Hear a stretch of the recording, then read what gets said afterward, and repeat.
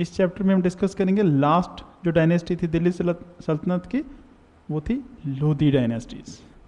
लोधीज ये अफगान्स थे तो ये हम देखते हैं कि फ़र्स्ट टाइम अफगान्स आए, अभी हमने पहले देखा टर्क्स आए, फिर खलजीज आए, और अब जो आए लोधीज ये अफगान है। अब जो अफगान्स होते हैं, इनके अंदर एक फीलिंग होती है ब्रदरहुड की फीलिंग होती है, भाईचारा होता है। ये यहाँ पे किंग और सब्जेक्ट्स की जो थ्योरी है, वो नहीं काम करती है। यहाँ पे कोई राजा और प्रजा वाला कॉन्सेप्ट कम होता है, यहाँ पे भाईचारा ज़्यादा होता है। तो जब सैयद सैयद के बाद लोधीज आए हैं तो किंगशिप थ्योरी में भी थोड़े से चेंजेस आए हैं और हम देखते हैं कौन कौन से किंग आए।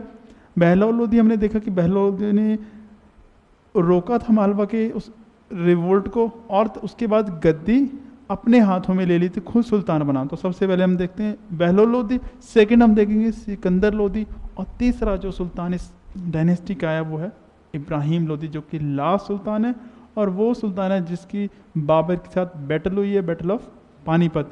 और वही वो वो सुल्तान है जो ओनली सुल्तान जिसकी बैटल फ़ील्ड में डेथ हुई है। तो चलिए थोड़ा सा लोधी के बारे में पढ़ते हैं। बहलो लोधी अफगान सरदार था, जिसने तैमूर के इन्वेजन के बाद अपने आप को यहाँ इस्टेब्लिश किया, बाद में ये सुल्तान बना दिल्ली का। जो दिल्ली की जो ग्लोरी थी वो गायब हो चुकी खो चुकी दिल्ली की वो इंपॉर्टेंस नहीं थी जो पहले रही थी, क्योंकि दिल्ली जैसे मैंने आपको बताया, शाह आलम के टाइम पे जो मैंने बता रहा था पीछे, आलम शाह शहनशाह शाह आलम अज दिल्ली ताप आलम थर्टी किलोमीटर से उनका एरिया रह चुका था। तो यानी कि ग्लोरी उस सल्तनत की जो इतनी बड़ी हुआ करती वो कम होके नीचे आ गई थी। इसने उस चीज़ को फैलाना शुरू किया और एरिया साथ वाले कैप्चर करने शुरू किए। और उसमें ये कामयाब भी हुआ। इसने काफ़ी सारे एरियाज़ जैसे जौनपुर का हो गया, उधर इटावा, मेवाड़, संबल, ग्वालियर, ये सारे एरियाज़ कैप्चर किए और दिल्ली की जो टेरिटरी है, उसको बढ़ाया, उन एरिया को अपने अंडर मिलाया। खुद वो इलिटरेट था बट उसने आर्ट और लर्निंग उसको भी बढ़ावा दिया और 1488 में उसकी डेथ हो गई। इनका एक कंट्रीब्यूशन जो रहा कि अगर हम बात करें किंगशिप थ्योरी की हम बात कर रहे थे अफगान से जो भाईचारे में बिलीव करते तो यहाँ पे जो किंग की प्रेस्टीज है, वो उस लेवल तक नहीं जा पाई।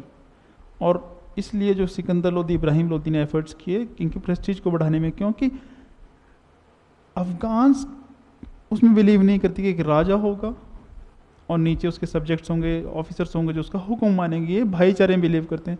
तो जो बहलोल लोधी हुआ करता है वो गद्दी पर नहीं बैठता, वो नीचे बैठता था और बाकी उसके ऑफिसर्स उसके साथ बैठते थे कि सब बराबर हैं। सिकंदर लोधी उसके बाद नेक्स्ट सुल्तान बना है जिस ने अब इन पॉलिसी को चेंज किया और किंग की प्रेस्टीज बढ़ाते हुए अपने आप को गद्दी पर बिठाया।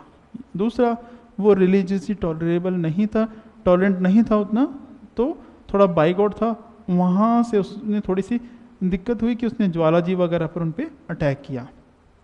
अब उसके बारे में देखते हैं कि जो सिकंदर लोधी है बहलो लोधी का बेटा है वो उसने अपनी कैपिटल को शिफ्ट करके दिल्ली से आगरा ले गया। तो इसके बारे में पता लगता है कि जो आगरा जो बसाया वो बहलो सिकंदर लोधी ने बसाया है। उसके बाद फेनेटिकल मुस्लिम मैंने आप, आपको बताया ज्वालामुखी टेंपल जो नागरकोट में है वहाँ पे उसने जो थी वो इमेज तोड़ दी उसकी और मथुरा के जो टेम्पल्स थे, उनको भी डिस्ट्रॉय कराया। उसके अलावा एग्रीकल्चर के लिए उसने ज़रूर थोड़े से एफर्ट्स किए उसकी प्रमोशन के लिए क्योंकि लैंड रेवेन्यू अगर कहीं से उस टाइम आता था तो वो एग्रीकल्चर प्रोड्यूस ही आता तो उसकी, उसने एफर्ट्स किए कि एग्रीकल्चर डेवलप हो और लोगों में जो प्रॉस्पेरिटी है वो आ सके। और जो मेज़रमेंट सिस्टम चलता था उसमें, जो मेजर करने के टूल्स थे। उसने एक नया इंट्रोड्यूस किया दैट वाज गज़े सिकंदरी। ये मेज़रमेंट था, जो स्केल था, उसको कहते गज़े सिकंदरी। उसकी डेथ के बाद जो तीसरा और लास्ट रूलर आया, वो था इब्राहिम लोधी, जो कि 17 से लेकर 15 17 से लेकर 26 तक रहा, जब तक बाबर का अटैक नहीं हुआ।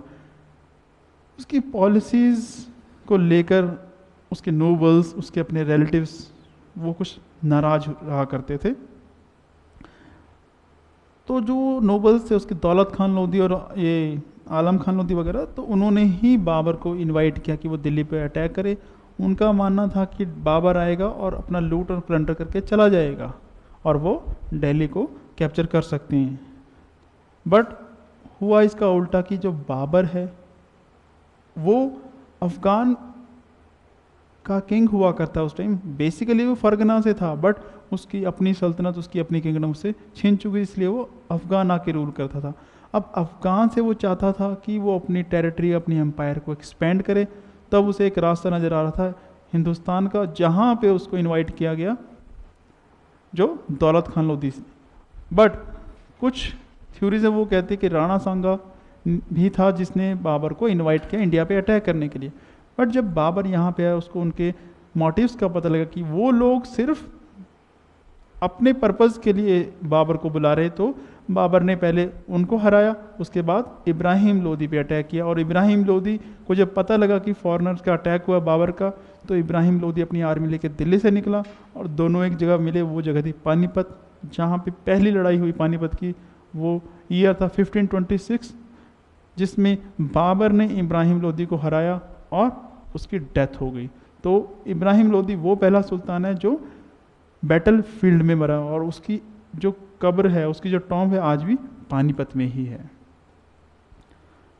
अब ये रीज़न है कि बाबर आया अटैक के बाद उसने रिज़ल्ट उसका निकला कि फ़र्स्ट बैटल ऑफ़ पानीपत का मुगल एम्पायर की स्थापना हुई। अब एक सल्तनत जो इल्तुतमिश ने इतनी बड़ी बनाई थी इल्तुतमिश ने शुरू की, अलाउद्दीन खलजी और मोहम्मद बिन तुगलक, उसको इस पावर तक लगी पीक तक कि अलाउद्दीन खलजी ने साउथ तक गया। अब वो क्या कारण है कि वो इतना डाउन आ गए कि ख़त्म हो गई, एक फॉरनर इसको कैप्चर कर लिया? तो उसके कुछ रीज़न हम ज़रूर डिस्कस करेंगे। सबसे पहले कि जो लोगों का कॉन्फिडेंस था, वो नहीं था। मिलिट्री लोग ज़रूर थे मिलिट्री गवर्नमेंट ज़रूर थी बट लोगों के वेलफेयर की बात नहीं की जाती सभी के द्वारा। और लॉ एंड ऑर्डर की सिचुएशन उस तरह अच्छी नहीं थी जो लोग थे, उनके अंदर ये लोग अपना कॉन्फिडेंस नहीं बना पाए, जनता के अंदर कह लीजिए। उसके अलावा जो सुल्तान थी उनके सुल्तान हुआ करते थे, उनकी खुद की वीकनेसेस बढ़ती गई कि मोहम्मद बिन तुगलक। इंटेलिजेंट था बट पर्सनैलिटी वाइज देखें, जो उसने एक्सपेरिमेंट किए, उनका रिज़ल्ट जो निकला, उससे उनकी पोजीशन ही ख़राब होती गई। उसके बाद जो वॉर ऑफ़ सक्सेशन हुआ करती थी, वहाँ पे कोई फिक्स रूल नहीं था कि नेक्स्ट सुल्तान कौन बनेगा, बल्कि क्या था? माइट इज़ राइट जिसके पास बाबर है, वो सुल्तान होता था। तो उस वजह से हमेशा कोर्ट में लड़ाई, झगड़े, मार और मार काट कह लीजिए, मार धाड़ कह लीजिए, ये सब चलता रहता। तो पीस मेंटेन करना मुश्किल हो जाता। उसके अलावा जो मिलिट्री ऑर्गेनाइजेशन थी, वो डिफेक्टिव हम कहते हैं कि फ्यूडलिज्म था पहले लैंड ग्रांट्स हैं ये देने लगे इकतदार हुआ करते। अब इकतदार की मिलिट्री हुआ करती थी, सिर्फ़ अलाउद्दीन खलजी ने ऐसी कोशिश की थी कि स्टैंडिंग आर्मी रखी जाए। फिरोज शाह तुगलक ने फिर वो उल्टा कर लिया, उसको हेरिडिटरी बना दिया। सारी पोस्ट उसने हेरिडिटरी कर दी कि एक एक बार जिसको पोस्ट दे दी, उसके बाद वो पोस्ट उसी की फैमिली में रहेगी। वो मर जाएगा उसका बेटा, वो मर जाएगा तो उसका बेटा। जनरेशन के हिसाब से वहाँ चलने लगा। तो जो अगर इकतादार है, उसके कुछ ट्रूप्स होंगे तो वो लॉयल किसके होंगे? इकतादार को, अपने अपने कमांडर को, ना कि सुल्तान को। तो इस तरह से जो आर्मी है, वो उतनी स्ट्रांग नहीं हो पाई। उसके अलावा कि जब अम्पायर थी, वो इतनी बड़ी हो गई थी अलाउद्दीन खलजी के टाइम पे और मोहम्मद बिन तुगलक के टाइम पे कि उसको वो कंट्रोल नहीं कर पाए। वास्टनेस होगी उसकी और कम्युनिकेशन उनका इतना अच्छा नहीं था। कि रिवोल्ट हुए तो ना उसको सप्रेस कर पाए और उसका डिसइंटीग्रेशन शुरू हुआ। उसके अलावा फाइनेंशियल स्टेबिलिटी ये फाइनेंस की प्रॉब्लम रही है, उसके अलावा तैमूर का जो अटैक है, उस वजह से भी दिक्कत आई है।